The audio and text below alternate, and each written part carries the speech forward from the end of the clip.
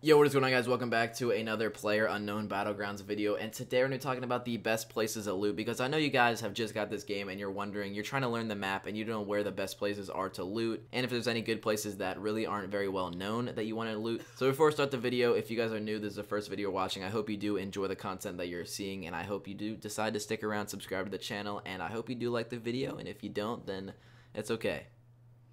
But like I said, to we're talking about the best places to loot. Now, obviously, if you guys know how the landing system works, basically you're in a plane and it flies you across the map in a certain direction, meaning you cannot control exactly where you're going to go. So the cities I'm going to name and the areas I'm going to name, if you're not on the path to go to those places, it's not something that you should go out of your way to try to fly towards that area, find a car and go towards it. If it's in the path and you hear one of the cities and it's in the path of where you're going, I think it, it, these are the best places to go in my opinion. If it's in the path, like I said, if it's not, I don't think going out of your way to go to these places is the best idea. But these are the best places to loot. They are pretty spread out. It's not just like in one line. So you're most likely going to go over one of these places if you're going into the spawn. So the first thing is pretty obvious. Going into the cities where there's a lot of buildings, it's obviously the best place to loot. You know, if there's a lot of buildings, there's a lot of opportunities for guns to spawn, helmets to spawn, painkillers to spawn, energy drinks to spawn, all that stuff that heals you, all the stuff to get you weapons, all the stuff to get you more armor, police vest, military vest, all that kind of stuff. There's all the things in the buildings. And where there's a lot of buildings, there's going to be a lot of loot. That's pretty self-explanatory. But there's a few cities that I found that have, I don't know, maybe increased loot chances or maybe I'm just crazy. So the cities that I think are the best are Georgopol, which is kind of towards the west side of the map, like the northwest side of the map. It's, it's on the coast. And then the next one is po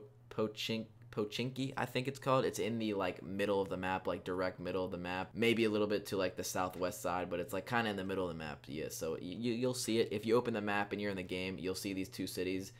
The first one, like I said, is Georgopol, and the second one is Pochinki. I don't know exactly how to say it, but those are the two that I found that have the best loot. Now, like I said, if you're going into a city and there's a lot of places, obviously there's going to be a lot of loot, but you know what else is going to be in those cities? A lot of people. So if you go to the suburbs or the farms that are like outside of the cities, those are also really good places because they tend to have like four to five buildings and they tend to have not as many people land at them because, you know, if it's like city or like suburbs, most people go to the city because there's more loot, you know, like I said. But if you go to like a suburb, then there's more loot to you because, you know, when you go to those cities, you know, there's loot everywhere, okay, but everyone's to steal it. So if you just go to a suburb where you're the only one there, then you're to be the one getting all the loot and you're to be able to kill the people in the cities that are under looted because everyone stole everything. If that didn't make sense, I'm sorry. I don't even know what I was saying for half the time. I was just kind of spitting bars right there. So a few other places to loot is the ruins next to Ponchinki, Pon, whatever that one city we are talking about earlier. There's ruins, so basically it's like it's basically a flattened like city, I guess you could say. So there's no like running indoors, running upstairs, stuff like that. Literally all it is is just all spread out over the ground. You don't have to do all this, you know, fancy opening doors, going into attics, going upstairs, doing all that boring stuff. So that's kind of by Pochinki or whatever it's called. And the next thing is the school school near like Rozhok, I think is what it's called. It's kind of hectic there, but it's a really big place. There's a lot of loot in it, and I think it's a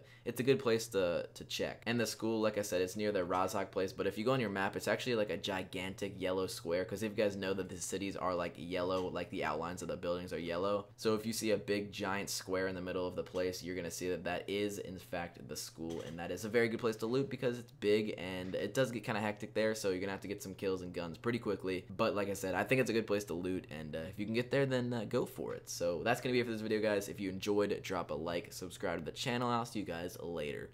Peace out.